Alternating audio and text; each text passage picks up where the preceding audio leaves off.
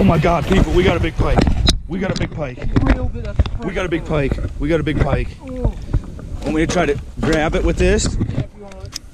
barely hooked up. Oh my God. He's big, big old. Oh, that's a big cigarette. Oh, get his mouth up over here. Oh. oh.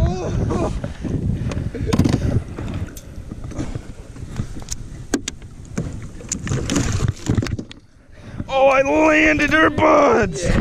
I landed her for you. Oh. Fuck yeah. Oh. Oh, you're running a that's a six pound pike. That is a six pound. Take her, that's all yours, bud. Six pounds. I about fell out of the boat. I see that. Dude, I about fell out of the boat. Dude, I just pooped a little. Oh my god, dude, your rod was flexing. Oh. Six pound pike, Duncan. Six pound pike. Oh my god. That That is nice, dude. Hold it up. Hold her up nice. Oh. Dang, Dang. bud. That's a clean Dang. light there. That's nice. Hold her down just a little lower. A little lower for the camera. Beautiful. Beautiful friggin' pike Ashton. What'd you get her on, bud? Uh, Rapala jerkbait. Oh, dude, it took it it like- Oh, terrible. dude, right. I was bringing it up, and then all of a sudden. Oh my god. Oh, my god. terrible. That's beautiful. we could do a pike catch and cook if you want. It's up to you. I can play a pike in about 30 seconds. Yeah. Sounds good to me, people. We're gonna do a friggin' catch and cook. I can put this clip in the start of the catching. I'll make this video, do the catch and cook, and I'll re-put this clip into the start of the catch and cook so they see you getting it first. Oh, that's That's beautiful. What do you think it is, like 30 something? Oh, I got a tape measure in my truck if we're gonna keep it. Alrighty, people, we're back at the homestead. One of those there. We got Mr. Donkey Fisher, Yes, Bud. Light Limes.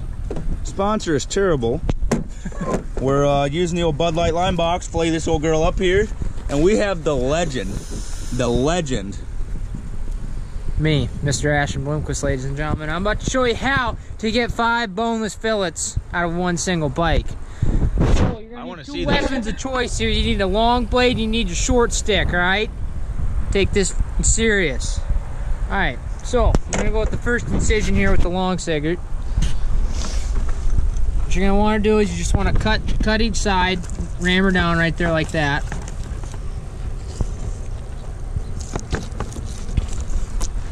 Take a picture, Dunk, and share it to the old small town stories. Videotape so I can clean my next fucking pie. Alright, so you want him to stand kind of straight up. That is a perfect pike. And then see, you're gonna come down, you're gonna feel that stop right there. And that's when you know to curve your blade like this here at about 45. And you're just gonna follow along. Just like that. You're gonna hear a little crunch and that's just a little bonage. Nothing, nothing the grease won't fry out. Bam. Take her right back to there.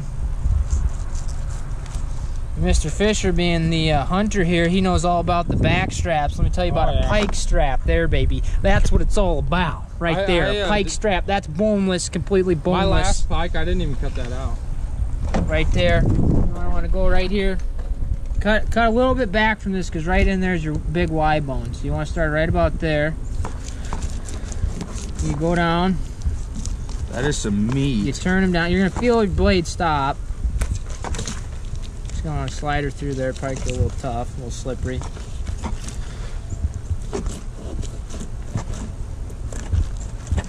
Man, Putting this on my YouTube channel too. and then there, there's an, nothing. there's another boneless fillet there. That's the tail piece. You're gonna flip her over. Proceed to do on this side here.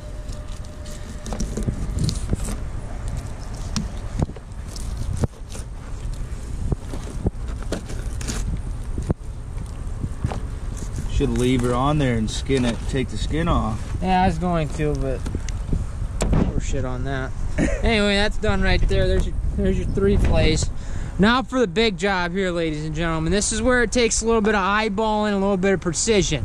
So you want to take your uh, Turbo McSiggert here, this little blade. You want to stand him up, All right. You want to clean your area here. Just give her a few good swipes. Bam, you're gonna see that right there. You see that sticking up? See that, ladies and gentlemen? You want to take your knife. You're gonna want to follow that right there. That's the rib cage. Follow that all the way down. This is why the little knife's nice because you can get right next to it, no fixing around. Bam, you hammer them all the way down. Whammy, right till you get to there. Then you do a little carving, folks. A little bit of carving.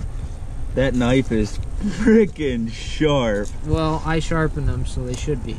Oh my god, that's a nice one. So anyway, you just kind of cut. I forgot that. You gotta cut that down right there. Oh, we got a female here, ladies and gentlemen. Ooh. A thick one. So whammy, right there. You cut her down, cut oh, her Oh, down, yes. cut her down, cut her down, right there. Wow, that's a fillet. Oh my god, is We'll, that a fillet? we'll butterfly this one for you guys. This is what I do for the Indians over there it's east of town. I butterfly them for them.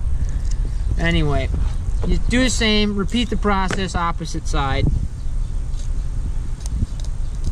I guess you wouldn't really want to catch a pike, I mean clean a pike too much smaller than this, would you? No, uh, ideal pike cleaning is about 25 to 30 inches.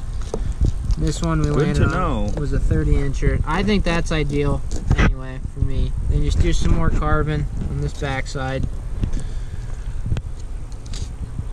The thing with pike is you always think like you're leaving a lot of meat, but you're really not because all that is just straight bone, you know, straight bone. Yeah, it is. Straight bone. And just keep carving on down. Carving, carving. Make sure you hit them bones, you know, so they're not in there. Carving, a bit more carving. Off track there, that'll be alright. See here, folks, you just take that and that, slit that.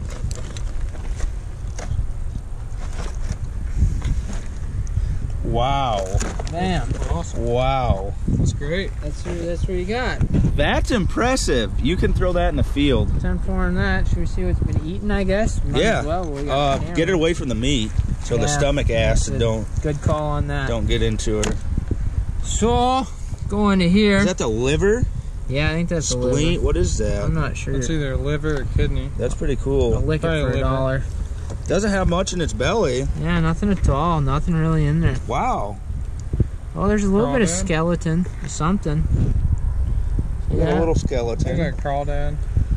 I remember A lot bones. of, oh, is they bones? Yeah, I remember It's like bones. whiskers. Something good down in there. What is that? Is that scales? Yeah, they ate a whole fish or something. Wow, people. Ate a whole friggin' fish this thing did. Now he only got Yeah. scales in his belly. Small Town Stories. Get on YouTube, go and subscribe, like his videos. But that, ladies and gentlemen, is how you clean a bike. Elijah Bloomquist. 130 seconds there. You know, completely boneless Give fillets like. there. Follow the page. Well, uh, we'll get them cleaned up here in a minute when I get ready. Beg my pardon. Uh, big knife comes back into play here when you're getting the f- meat off the fillets here. So I'm just gonna, I, I like to do them like this when I take them off the pike because it feels like you get more meat out of them. There's little devil e money. So you're just gonna take her, go right down that middle, split her in two. You see you'll have fins on this bottom side, which will be a little bit of an issue. So I just take about half that stomach off, because it don't really matter anyway. Just stomach meat. Not a big fan of it.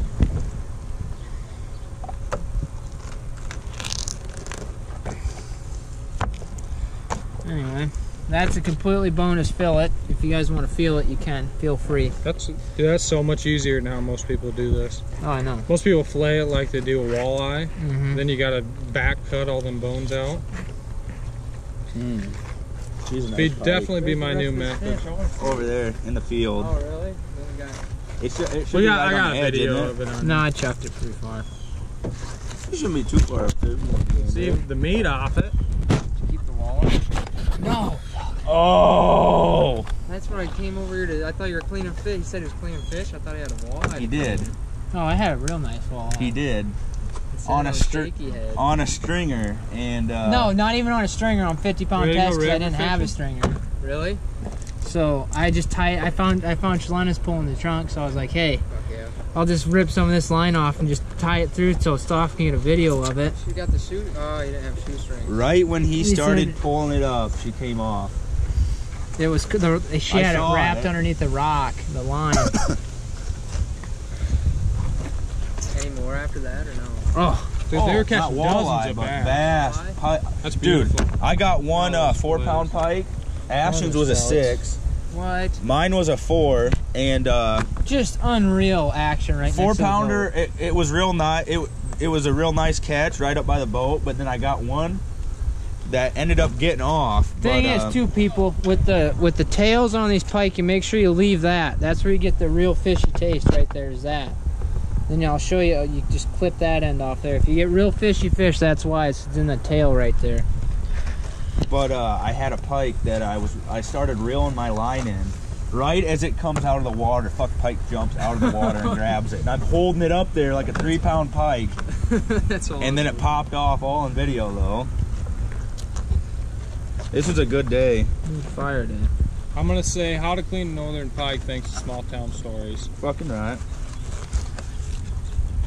Anyway, I got more boneless fillets up. There's more to come after I get these all filleted. You guys, I always have a tough time with these ones. I don't know why, but you never get the full extension on the We'll uh, back. soak her and maybe cook it later. Right, Rightfully. Ooh, some fresh, fresh pike. Yes. And people, if you haven't heard, if you haven't heard already, look who's friggin' here. oh, there look he who's is. friggin' here. Just rolled into town. Heard they were catching fish. He had to come see what it was all about. Dirty old E-money Aw. in oh. the flesh. in the friggin' flesh. What are you doing now, bud? So, people, I'm gonna tell you, this is another way to get the real fishiness out of your fish. Is taking the zippers out or Is mud that a veins. fat cap type deal? What is that? This Whoa, whoa, That right out.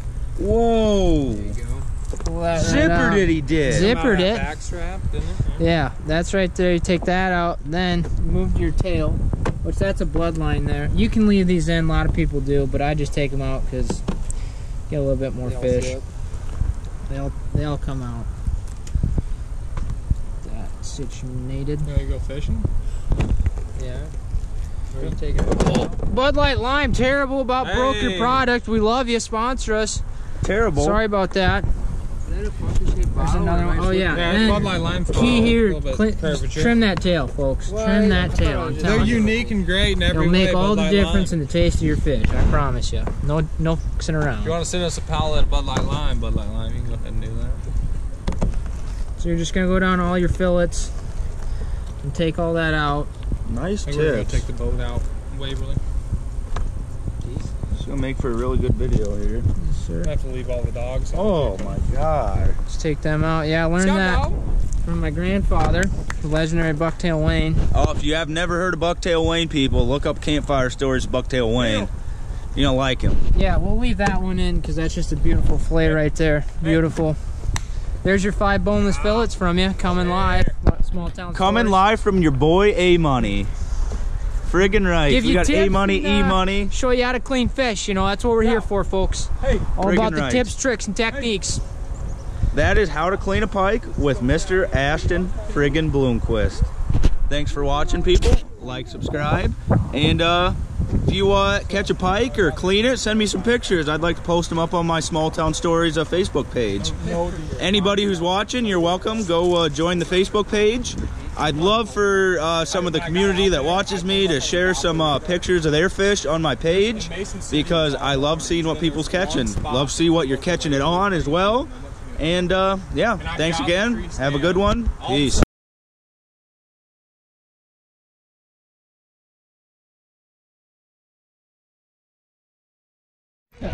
Alrighty, people. Next step, you want to clean off your boneless fillets that Ashton showed you how to do here. Sure. So graciously. That was a great video. Look at frog dogs. How's that fish water taste, Mrs.? Oh, Long Johnson going in the bag there. And we're just gonna add a little bit of salt to them, right? Yes, sir. Just uh, once you get them in the bag, get a little extra water in there with them, and you're gonna want to salt them pretty good. It's gonna draw the blood out of the meat. Uh, I don't know. What would you say is a good recommended minimum soak time? I'd say, um, depends on if you're gonna eat them right away. I'd say two hours, but if you're gonna freeze them, I'd go an hour, hour, hour and a half, or just leave them in there. Yeah, I gotta reach tailgate off. Brought a pipe here, Duncan, for sakes. Seems like uh, the longer you let them sit in that salt, they get a little tougher. Yes. They'll get a little bit tough if you leave them too long, but a few hours, get that blood out, and then once you uh, are ready to cook them, give them another quick clean, and uh, you're gonna be ready to go. But uh, stay tuned. We're gonna do a little bit more fishing, but uh, I'm gonna let these soak later tonight. I'm gonna come back and cook them. Gonna put all this in one video. Catch, clean, and friggin' cook. Stay tuned. Alrighty, people. Get yourself a little bit of water in these bags here. All right. We got the friggin' water in the bags. Now, let me set this one here. Oh, spilling water. Spilling water. Take your salt. Oh, great. No effing salt in the salt shaker. Wonderful. My shaker I bought. All right. I'm gonna take my sea salt here. Sea salt's better anyways, folks. Give her, give her two, three cranks. That's about it. That's all we need. A little water in there. That's gonna draw all that blood out of the meat. Repeat on the second one and get ready to eat these bad boys in a couple hours. Alrighty, people. Got the grease heating up here. We uh gonna make a little beer battered uh, northern here. Dirty old Ashton here. He caught her and he cleaned her. Yes, sir. Now your boy Stoff Reagan's gonna cook it up for you. Elijah just spectating. and he's gonna eat some of it. So, um, gonna do a beer batter on this, and never tried it before. I've done a lot of beer batters, never done it to a uh, dirty old pike. I'm gonna start with a nice Bud Heavy here, and uh, I'm gonna use this whole 16 ounce can. And you want to do a 50-50 flour mix with this. So you're gonna if you do 16 ounces of uh, your delicious uh, Budweiser, you're gonna have to do 16 ounces of flour, which equivalates to two cups, folks. Two cups of flour, no more, no less. Get your fillets out here. Um, I'm gonna get the uh, two cups of flour put into this thing. Then I'll show you when I'm adding the beer in. Um, you're gonna want to get your fillets cleaned up too. After you soaked them in water, like we told you, you're going to want to uh, wash them up nice and clean them off before you start battering them. And the biggest tip is you got to dry them completely off. So if they're not super dry, batter's not going to stick. And I don't like that. I don't like that kind. I don't like that kind either. Who likes fish with no batter on it? Not this guy. Tune back. Alrighty, folks. Crack your cold one. Okay. Take one one courtesy drink, no more, no less.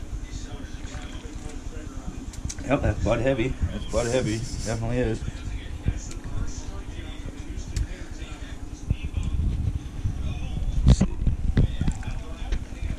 Two of these. And I actually uh, should have waited. It's a better idea to, uh, you want to wait until you have your fish ready to go to do this. Because the uh, more carbonation that's in there makes it a little bit of a lighter batter. If you let it sit and flatten out, it's going to be a little bit less light, a little bit less crispy. I also should have added this in a little bit at a time. But, uh, I guess I just decided not to. So, get this going here. Just And it hair. should be pretty thick. It should like ribbon off of your spoon once you got it mixed together. And if it's a little too thick, add some more beer. A little too thin, add some more flour, people. About a 50-50 mixture though will get you the right consistency. Come together nicely. Oh, looks great. Looks nice. I'm gonna have to make more, but I only made a cup here. P. I only did a, a cup of flour. People, she's making like a nice ribbon, as you can see off of the spoon. That's what you want. You want it to fall down a little bit before it breaks off. That's your consistency. Mix it the least amount of possible. Now I'm gonna have Ashton film me. We're gonna throw some spices in here. spicy. When you're cooking with stuff, nothing's exact. We don't have recipes around these parts. It's all about the eyeball, baby. We're gonna do a shake of pepper there. Cracked black pepper is preferred, but the cheap stuff will do. Uh, put the old ca- this is some cayenne pepper here. And go ahead and want to put this in your hand so you don't accidentally like pour it out. That that's good there. Get a good amount of cayenne. I like it terrible. Now your garlic salt here. Gonna want to be careful with this. You use a lot of the garlic salt, you're not gonna want to put regular salt with it. A little shake of that. I didn't put a whole lot of it, so I still got a little bit of room to up the sodium count here in this recipe. Well, the sea salt. We're gonna go three cracks, and uh, you can. What we're also probably going to salt this fish once it comes out of the uh, pan. Once it's nice and glistening with oil, let that salt get on there. Make sure this is mixed in. Would be a better idea to put the, the seasonings in with the flour before you put the beer in. you want to mix this the least amount possible. But I goofed again, so make sure you watch the whole video so you don't mess up before I tell you not to do something I already did. Yeah. That's your friggin' matter. Now, gonna get these uh, pike fillets cleaned. And like I said, the biggest step you do not want to miss in this recipe is dry your fillets bone dry with a paper towel, or this batter will fall right off. Public service announcement from Old House. We got the uh, pike fillets in here, people. Got them cut into boneless nugget sizes. Got the oil between uh, 375 and like 380 degrees. Maybe a little higher, but it'll drop once we put this in here. And you're wanna, gonna, gonna want to do just a couple little tester one, runs before you put your main batch in. Get your excess batter off of there. It should sound like frying bacon. Don't overload your pan either. This temp sounds about right, so I'm going to go ahead and put a, quite a few in here. Got her going. We're going to do these, and I'll uh, tune back in. Alrighty here, folks. Things are frying up nice. About two, two and a half minutes. And they're ready to go. About ready to pull these. We'll do a little friggin' taste test for you folks. Alrighty people, we're live. Um, we're about to do a friggin' taste test on this. You wanna give her a bite? First bite? Tell me if it's any good? Yes, sir. Oh, she's falling apart too good. Sounds crispy. Oh, Not too bad. Fishy? How is she? Ayo Oh, friggin' that's real K. good. Go oh, that's guys. real good. A Mm. little hot right now, but oh, tremendous flavor. Friggin' rights, friggin' rights, people. yeah, that's fire That's pike, some- ladies and gentlemen. that's some good beer That is batter. Fire pike. That's well, well cooked pike. Well cooked. A lot of people don't like to uh, eat the old pike, but if you watch uh, Ashton's video that I'll be posting later on uh, how to clean a pike, or actually it'll be this video, never mind. Earlier in this video, you'll see how to clean a pike, and then if you cook it good, hey, it's a good fish. Good game fish, good eating fish, everything. That's about it for me. Stay tuned, subscribe. Anything you guys got to say? No, Eat this fish. Terrible. It's Make great It. fish. Fire. Yeah, go cook it yourself and clean it after this video. Be able to. Friggin' rights, friggin' rights. Might uh, do a little couple shots of us eating this, but that's about it. Got some more frying up here. Um, if you're not using like a uh, big fry daddy or something, you might want to uh, flip these around. This is fantastic. Is she really good? Oh, real good, dude. This way, pike nuggets are the way to go. Beer batter. Oh, these are fantastic. Can't wait to try it, people. I'll tune back in when I give her a look. my cigarettes out. Crunch cam. Woo! Oh. Friggin' crunch cam. How's that? Oh, that's fantastic. Let's get another one. Let's get a real close up crunch cam. Blow off a little bit, it's a little hot. Oh yeah. Oh friggin' yeah. Real nice people. Frying up some more. Frying up some more people. Gonna keep it uh keep them frying until they're gone. Suck ramming it, folks.